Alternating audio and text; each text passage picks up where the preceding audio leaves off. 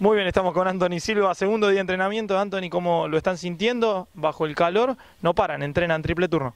Sí, bien, realmente eh, apostándole muchísimo a los trabajos.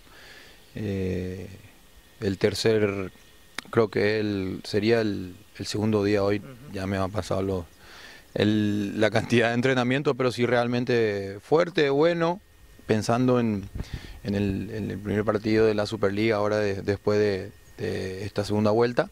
Bueno, realmente poniéndole muchas ganas y sobre todo mucho trabajo para mejorar, que es lo que, realmente le vendría bien al equipo. ¿Cómo tomaron la llegada de Damonte? Me imagino contentos, envión anímico para cargar las pilas en este 2020. Sí, y realmente bien por, por todo, ¿verdad? Por todos los puntos que, se han tocado ahora en estos días, eh, realmente muy, eh, muy allegado al equipo, al grupo, así que bueno, esperemos que, sea un buen arranque, que sea sobre todo ayude muchísimo no solamente en lo deportivo, sino en todo lo demás que, que concierne al fútbol y al equipo. Y bueno, eh, esperemos que, que realmente nos ayuda a mejorar, a, que el equipo consiga buenos resultados, que es lo que necesitamos. Específicamente te toca trabajar con Pablo Campodónico, arquero que hasta hace poquito estuvo en actividad, ¿cómo, cómo están viviendo esa, esa convivencia? No, muy bien, la, verdad que trabaja muy bien, ha dejado el...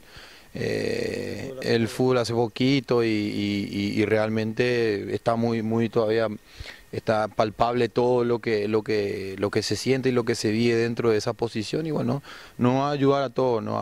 al Flaco, a mí, a Rafa, a Seba ahora que se agregó, yo creo que realmente muchísimo para, para aportar tiene y bueno, se nota que tiene muchísimas ganas igual que nosotros. La última, más allá de, la experiencia tuya y del Flaco, ¿cómo los ves? Recién los nombrabas tanto a Rafa Ferrario como a, como a Seba Mesa en este comienzo de la pretemporada. muy bien, arqueros muy muy jóvenes, pero con, mucha proyección, que tienen bastante por, por jugar en, esta, en este, realmente en esta profesión, en este puesto que realmente siempre es complejo y, tienen, tienen todas las capacidades para, para, estar en este lugar y, bueno, esperemos que, también tengan una proyección y un trabajo importante para, para su crecimiento.